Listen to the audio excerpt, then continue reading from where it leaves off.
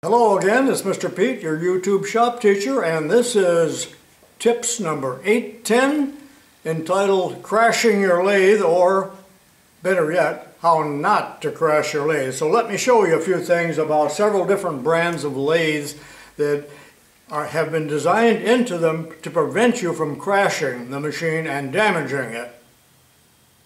First, let me tell you what I mean by crashing the lathe when you're in power feed, and in this case it's longitudinal feed, and you are not attentive or you walk away from the machine or you get distracted and you have the power feed on through the clutch here, you can very well run the tool or the tool holder or the compound into the chuck or into the work and do serious damage and by damage, I mean you're probably going to strip something inside the apron here, or at the very least, strip one of the gears back here, the weakest tooth, the weakest gear. And that's what will happen, and it can be catastrophic and expensive. If you have a Model C South Bend 9 inch, it has an apron like this, and it does not have the clutch. It just has a half nut lever that we use for longitudinal feeding, there is no cross feed. Again, I've said that over and over. But if you are using a Model C with the half nut lever and you crash it, you will do serious damage because this is a positive drive here, a nut and a screw. However, if you own a Model A or B, use the clutch here for your power feed for both cross feed and longitudinal and a clutch can slip to a certain extent and it also depends on how tight you have turned the clutch knob when you engage the feed. But there are plates in there just like my 51 Buick and it can slip and that might be your weak point that protects the rest of the machine.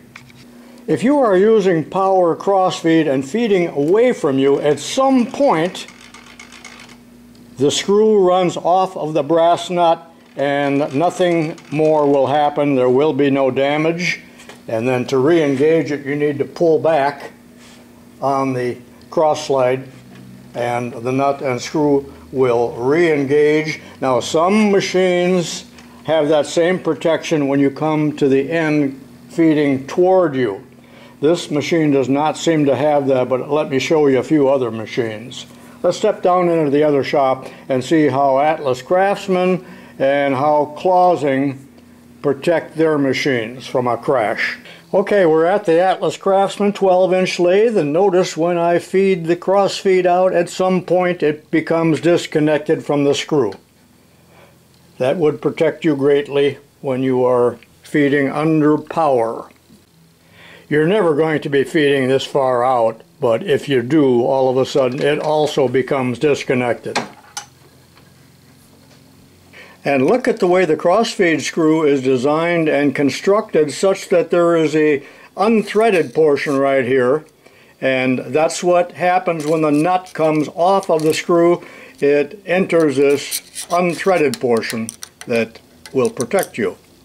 This Craftsman lathe is what we call a late model. It was made in 1976 and I'm not sure when Atlas employed this little clutch here on the end of the lead screw, or should I say the beginning, so that if you crash the lathe under longitudinal power feed, this clutch at some point will slip and it can be adjusted to vary that amount, but that is factory set.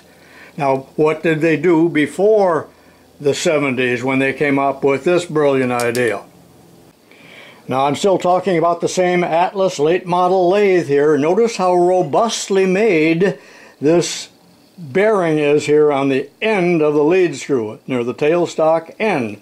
So when we're under power feed, there's tremendous pressure of the lead screw up against this bearing.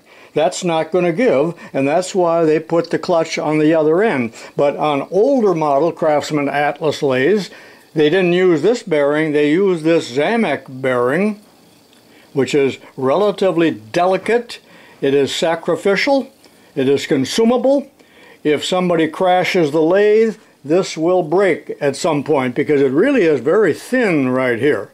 That would protect the lathe the lead screw would be forced this way a little bit and you would hear a terrible noise and you would turn the machine off. So what would you do then? You'd go down to Sears and Sawbuck and order a new one of these. Maybe they're still available from Clausing. They probably are because they are sacrificial. And if you have Atlas lathes in a high school shop, you have six Atlas Craftsman lathes, you would buy these by the gross. You're still looking at the Atlas Craftsman lathe, but at the high school I had one or more Sheldon lathes, and they used a fiber gear. I believe it was this one, that's quite a while ago, I don't remember for sure, but the purpose of it was to strip as well in other words, it was a shear pin or a shear gear, and I do re remember replacing that gear several times, and I always kept a few extras in the storeroom. That was their way of protecting the machine.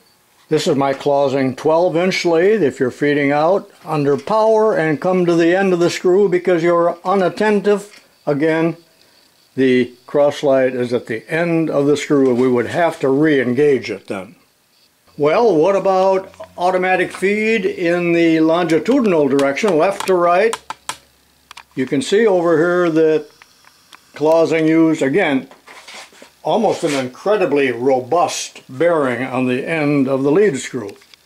So what they've done on the Clausing and the Logan and probably many other makes, they use a shear pin right here.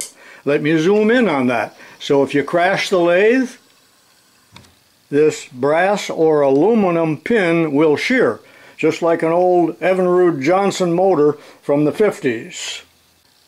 When this machine was in the high school shop, I used to carry in my apron pocket some extra shear pins. They sold them, but I ended up using aluminum uh, welding rod and that sheared so easily even though it wasn't a crash just a heavy feed it would shear so eventually I had to switch to soft brass.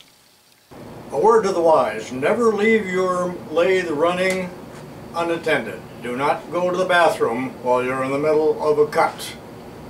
Hope this little video helped you to be careful in your lathe so you do not damage it with a crash and the various methods that the manufacturers use to help prevent that. So long for now.